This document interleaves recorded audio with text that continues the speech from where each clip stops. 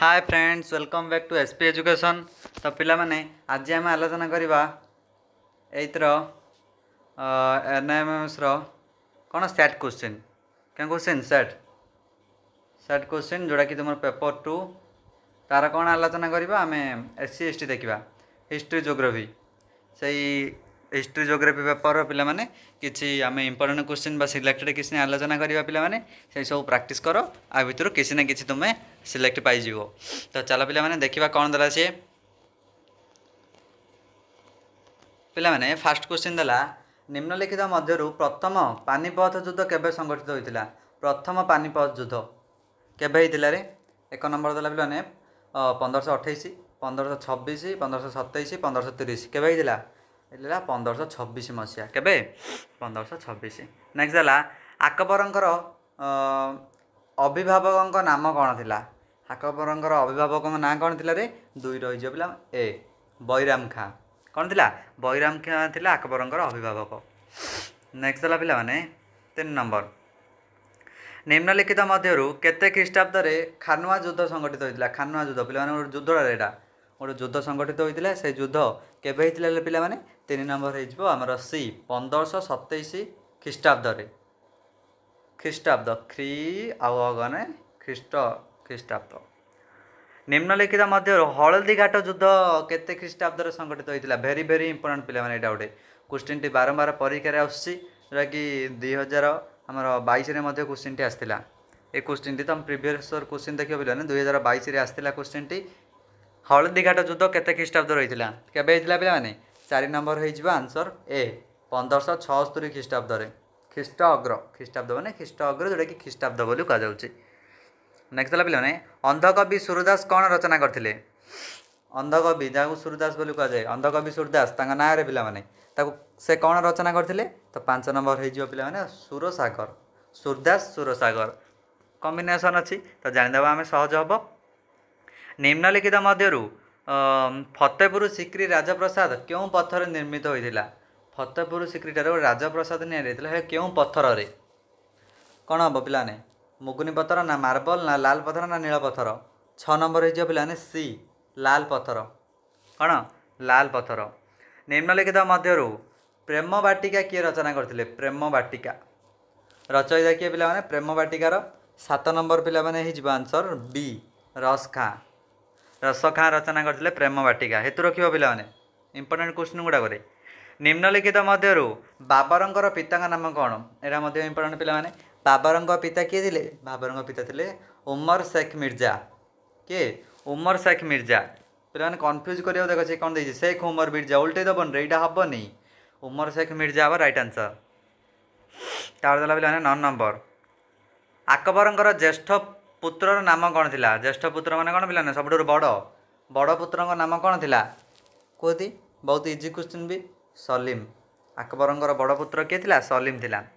ମୋଗଲ ଶାସନ ସମୟରେ ଗ୍ରାମଗୁଡ଼ିକୁ ନେଇ କ'ଣ ଗଠିତ ହୋଇଥିଲା? ଛୋଟ ଛୋଟ ଛୋଟ ଯେଉଁ ଗ୍ରାମ ଗ୍ରାମ ଥିଲା ସେ ଗ୍ରାମଗୁଡ଼ିକୁ ନେଇ କ'ଣ ଗଠିତ ହୋଇଥିଲା ରେ? ଦଶ ନମ୍ବର ହେଇଯିବ ପିଲାମାନେ ପ୍ରଗଣା ଗଠିତ ହୋଇଥିଲା।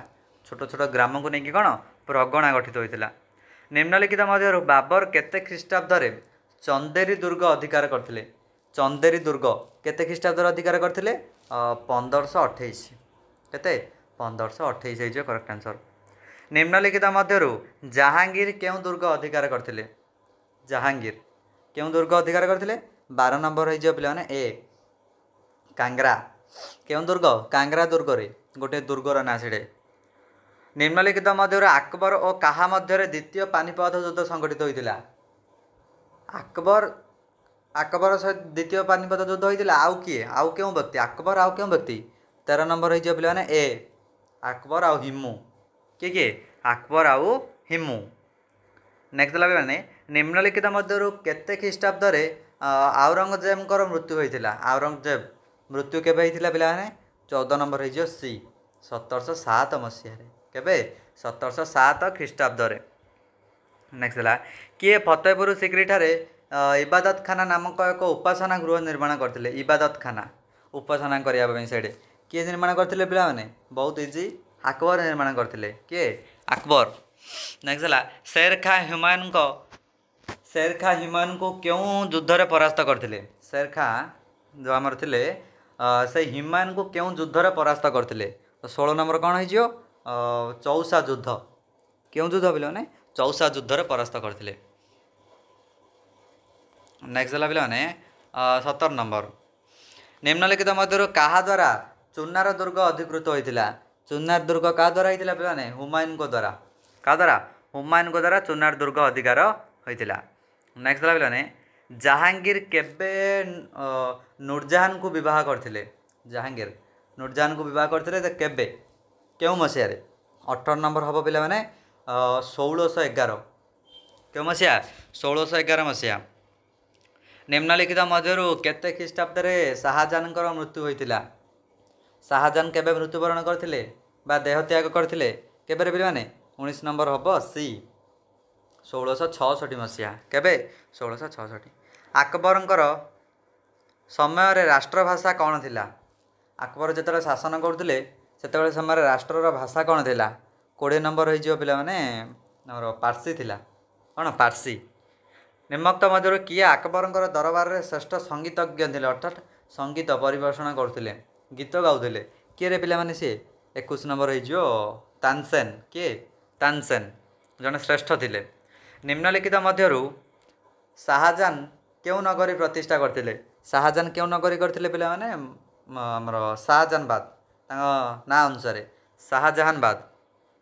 ଦିଲ୍ଲୀର ଲାଲକିଲ୍ଲାର ନିର୍ମାତା କିଏ ଦିଲ୍ଲୀରେ ଯେଉଁ ଲାଲକିଲ୍ଲା ରହିଛି ସେଇଟା କିଏ ତିଆରି କରିଥିଲା ପିଲାମାନେ ଏଇଟା ଇମ୍ପୋର୍ଟାଣ୍ଟ କ୍ୱେଶ୍ଚିନ୍ ସେଇ ଶାହାଜାନ ତିଆରି କରିଥିଲେ କିଏ ଶାହାଜାନ ଶେର ଶାହା ଭାରତର କେଉଁ ସାମ୍ରାଜ୍ୟ ପ୍ରତିଷ୍ଠା କରିଥିଲେ ଭାରତରେ କେଉଁ ସାମ୍ରାଜ୍ୟ ପ୍ରତିଷ୍ଠା କରିଥିଲେ ପିଲାମାନେ ଚବିଶ ନମ୍ବର ହେଇଯିବ ଡି ଆଫଗାନ କ'ଣ ଆଫଗାନ ସାମ୍ରାଜ୍ୟ ପ୍ରତିଷ୍ଠା କରିଥିଲେ ନେକ୍ସଟ ହେଲା ପିଲାମାନେ ପଚିଶ ନମ୍ବର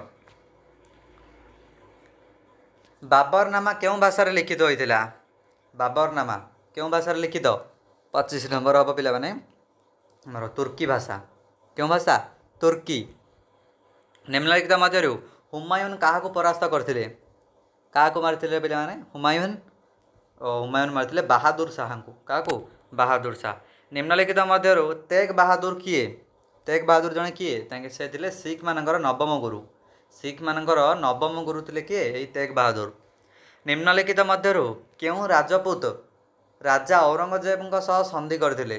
କେଉଁ ରାଜପୁତ୍ର? ଔରଙ୍ଗଜେବଙ୍କ ସହିତ ସନ୍ଧି ସ୍ୱାକ୍ଷର କରିଥିଲେ। କିଏ ସେ ପିଲାମାନେ? ଜୟ ସିଂ। କିଏ? ଜୟ ସିଂ। ରାମଚରିତ ମାନସର ରଚୟିତା କିଏ? ବହୁତ ଇମ୍ପୋର୍ଟାଣ୍ଟ କ୍ୱେଶ୍ଚନ୍ ପିଲାମାନେ।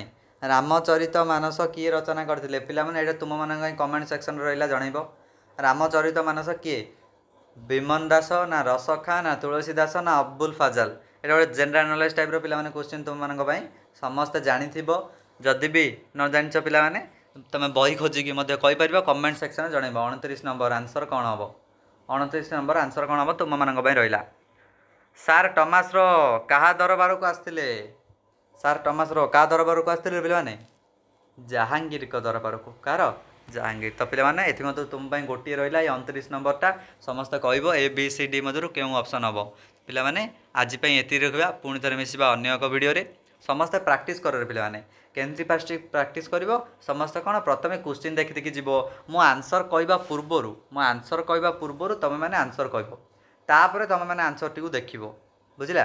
আনসর কহা পূর্বর তুমি আনসরটি দেখব সরি আনসর নিজে কহব তাপরে আনসরটি দেখব তাহলে তুমি জাঁপার যে নিজে কেতে পাঠ পড়ছে পিলানে এই টাইপের প্রাকটিস কর এক্সাম পাই বেস্ট অফ লক সমস্ত ভালো কর এক্সাম আমার চ্যানেল সহিত এইপরি ভাবে যোড়ি রহিত এবং ভিডিওটি সমস্ত পাখক সেয়ার করতু থ্যাংক ইউ